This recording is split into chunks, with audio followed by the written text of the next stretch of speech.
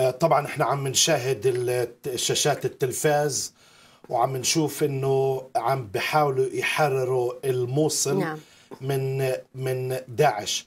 هل هذا يعطي رجاء أو أمل للناس اللي فقدت بيوتها أخت إنصاف؟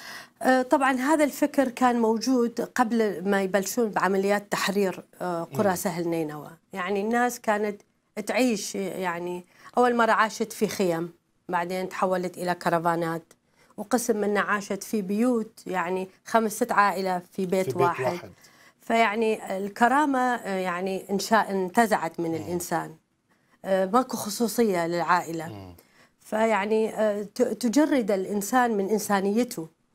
آه، كان عندهم أمل أنه لما تبدي تتحرر القرى رح يرجعون إلى بيوتهم. يعني كانوا يفكرون أنه أوكي ممكن أنا أرجع لبيتي آه، أصبغ شوية الحيطان أو أعمل شوية أسلاك الكهرباء لكن اللي فهمت إنه في كتير ناس مش لا. عم لكن ال- اللي شافونه إنه بعد ما تحررت راحوا شافوا بيوت مت- متدمرة كليا. يعني أنت ما تقدر تعمر بيت بألف دولار رح تحتاج آلافات.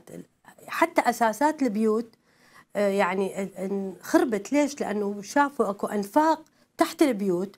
يعني كل عشر بيوت أكو أنفاق مفتوحة من بيت إلى بيت، طيب هذا شلون رح يجي يعيش يسكن بالبيت؟ يعني شلون يأمن إنه ما يطلع له واحد من النفق يعني؟ وبعدين حتى لو ما ما طلع له أحد، زين أساسات البيت كلها تهزت يعني ما, ما فيش أمان يعني. ما فيش أمان. ف صار ال- الناس خيبة أمل يعني كان عندهم أمل أنه بعد التحرير يرجعون هسه حتى بعد التحرير ما رح يقدرون يرجعون لأنه أكو كثير أمور محتاجين شروط الأمان. يعني أنا من أروح أعيش في بلد أو في بيت لازم أحس أحس بالأمان من جاري أحس بالأمان من أمشي بالشارع أحس بالأمان في كل شيء. بس ماكو حياة بعد بهاي المك... ليش؟ لأنه الدمار هو أكبر مما نتخيله في عقلنا.